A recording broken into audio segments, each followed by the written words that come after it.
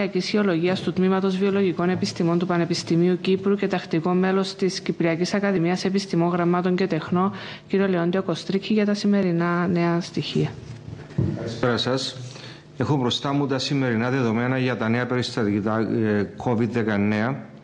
Τα νέα επιβεβαιωμένα κρούσματα είναι 32 από σύνολο 1.256 εργαστηριακών διαγνώσεων.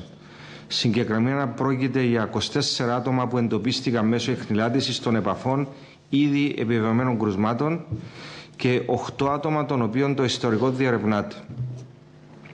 Με βάση και τα σημερινά δεδομένα, ο συνολικός αριθμός των θετικών κρουσμάτων ανήρθε στα 526, συμπεριλαμβανομένων και το 10 που εντοπίστηκαν στις βρετανικές βάσεις. Σε σχέση με τα τέσσερα περιστατικά που δηλώθηκαν χθες ως υποδιερεύνηση, για τα δύο βρέθηκε σύνδεση με ήδη επιβεβαιωμένο κρούσμα και για τα άλλα δύο συνεχίζεται ήδη η ερεύνηση. Είναι σημαντικό να πούμε ότι τα 526 περιστατικά COVID-19 εντοπίστηκαν μετά από διεκπαιρέωση συνολικά 14.273 εργαστηριακών αναλύσεων από το Ινστιτούτο Νευρολογίας και Γενετικής Κύπρου και το Μικροβιολογικό Τμήμα των Νοσηλευτηρίων του ΟΚΙΠΗ και τα ιδιωτικά εργαστήρια. Τα 390 από 526 προέρχονται από επαφές, άρα οι λοιμώξεις είναι από την Κύπρο.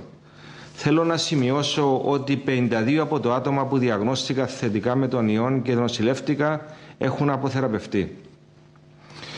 Α, ολοκληρώθηκαν οι μελέτες των περιαχών Πάφων και Αραδίπου. Στην Πάφο σήμερα από τα τελευταία 336 δείγματα είχαμε νέα θετικό.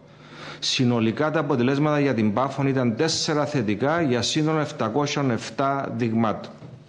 Στην Αραδίπου σήμερα, σήμερα είχαμε ένα θετικό αποτέλεσμα από τα 17 τελευταία δείγματα και συνολικά τα αποτελέσματα για την Αραδίπου ήταν 7 θετικά από σύνολο 525 δειγμάτων. Ο αριθμός των 32 νέων κρουσμάτων σε σύνολο 1.200 εργαστηριακών αναλύσεων 1256 εργαστηριακών αναλύσεων διατηρεί αμετάβλητη της στρατηγική μας.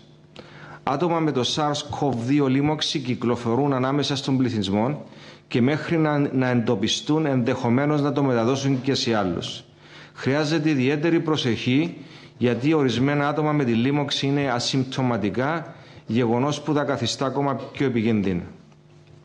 Σας καλούμε να συνεχίσετε να ακολουθείτε πιστά τα περιοριστικά μέτρα στο μέγιστο δυνατό βαθμό, να παίρνετε μέτρα αυτοπροστασίας και να τηρείτε τους κανόνες υγιεινής. Περισσότερα στοιχεία για την επιδημιολογική εικόνα των τελευταίων ημερών θα ανακοινωθούν αύριο. Ευχαριστώ πολύ. Ο Δ. Μάριος Λοΐζου, επιστημονικός διευθυντής της Διευθύνσης Λευκοσίας του ΟΚΙΠΗ, έχει το λόγο.